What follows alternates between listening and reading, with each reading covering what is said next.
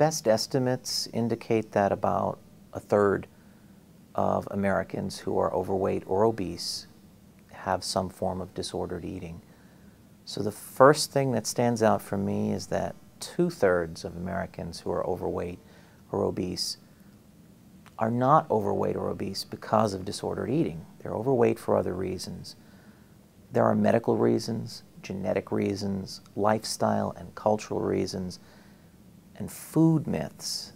There are a lot of, there's a lot of misinformation out there about healthy nutrition, driven in part by advertising in an attempt to sell products. So most people who are overweight or obese, it's important to realize, don't have disordered eating or eating disorders, but about a third do.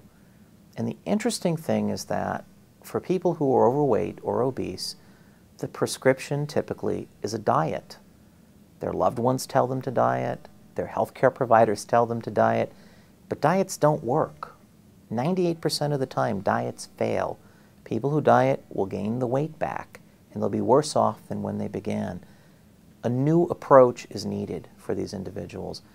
And the great news is that the healthcare community is beginning to embrace a new approach something called the Healthy at Every Size approach. You can find a lot of information about this on the internet, and it's strongly recommended as a new way of dealing with overweight and obesity. Um, it's the alternative to diets.